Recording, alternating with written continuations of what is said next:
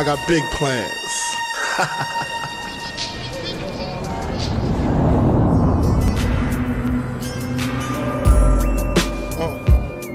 He had this funk thing about him. Lyrically, I couldn't believe a lot of the things he was coming up with. I could feel him being something different. Raw, uncut, lyrical.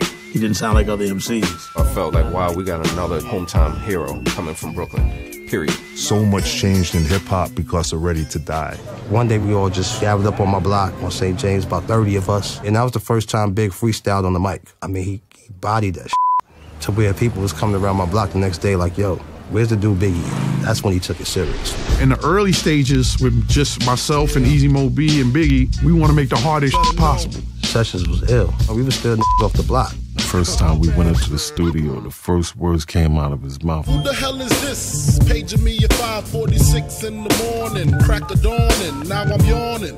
Wipe the cold out my eye. I was like, yo, this dude right here, this dude is gonna blow. At that time, he was way advanced at such a young age, rap wise, flow, delivery, concept, metaphors. I was like, wow.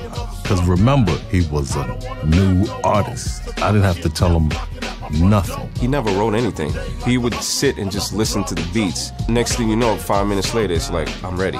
Big was like an alien to me. I never ever seen anybody create like that. And I mean, he, he owned the room when he walked in. And you feel this gangster thing with him, but that was just, you know, a part of his life. But Big's presence was always funny.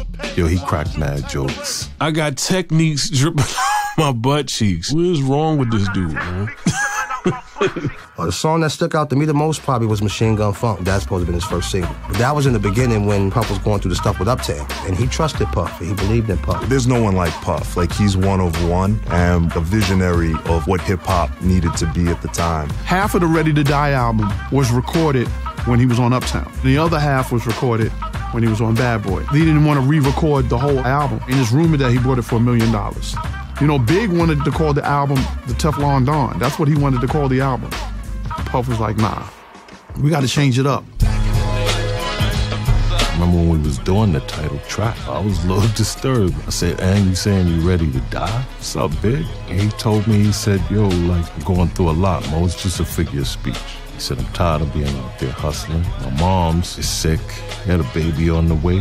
He was going through a lot of pressure. That album tells so much of a story, if you listen to it lyrically, about an average kid from Brooklyn going through trials and tribulations. He put a lot of blood, sweat, and tears into this album. In the early process, it was Biggie at his most purest, rawest form. Diddy stepped in and said, hey man, we gotta make some radio records. Songs like Juicy and Big Poppa and One More Chance. is the songs that Diddy had to convince Big on doing. When he played Juicy for Big, it was just like, what the f- is this?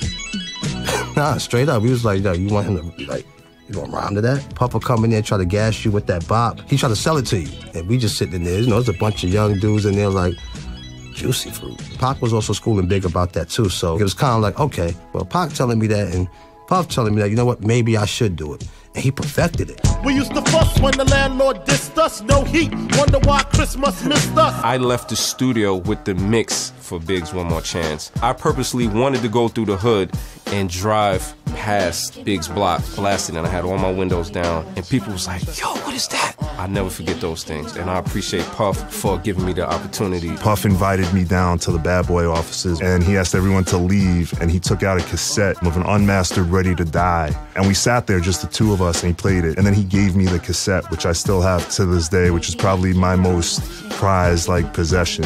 I called Mike Kyser, who was at Def Jam, and I said, I just heard one of the top five albums of all time. He's like, What do you mean? I'm like, Puff just played me the Biggie album. Kyser's like, Top five hip hop albums? I'm like, No, top five albums of all time. I Papa freaks all the honeys, dummies, Playboy bunnies, those wanting money. I didn't work with Big until literally the very last song on Ready to Die. Maybe not even two days after the, the song was done, we hear a car blasting the song, and I'm sitting there like, yo, where you get that from?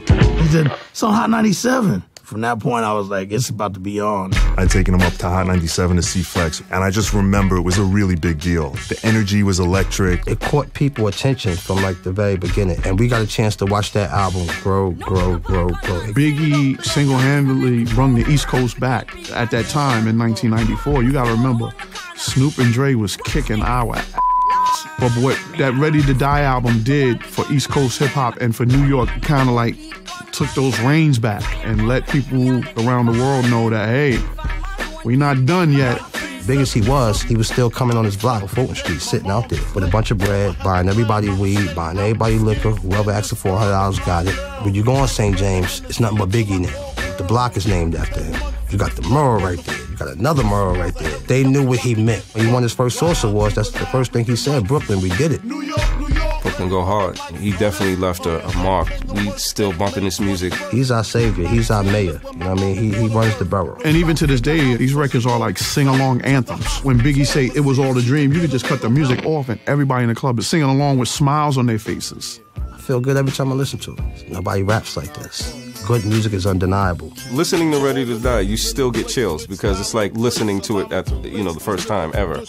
I do miss Big. You know, I miss him just being him. I'm proud to this day to be a part of something that was so momentous. But then it's also, I think about my friend. I think about my friend that's not here no more. To, to see the fruits of his labor, to see how much that this, this album has really impacted people's lives. I think he would laugh at it in the public. I think he would be like, ah, it ain't nothing, you know, it ain't no big deal. But I think talking to me behind the scenes, he's like, you see what the f- I did? You see, you see what I'm doing out here, see? In three words, big is forever.